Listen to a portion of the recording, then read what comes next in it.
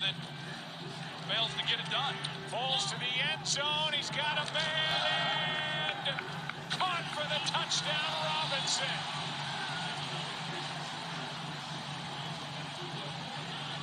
Man coverage. This time Marshon Lattimore is on Allen Robinson. A really good route at the top. He sticks it to the post.